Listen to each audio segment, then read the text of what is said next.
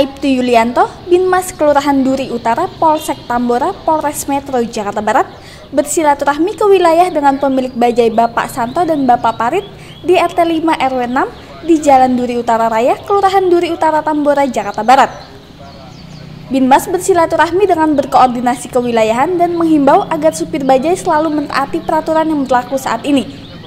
segala bentuk kerawanan di wilayah agar selalu diwaspadai dan meningkatkan siskamling serta menyampaikan tips menjaga keamanan dan ketertiban wilayah dari segala bentuk aksi kejahatan 3C, yaitu pencurian dengan pemberatan, pencurian dengan kekerasan, dan pencurian kendaraan bermotor, serta pencegahan bahaya kebakaran.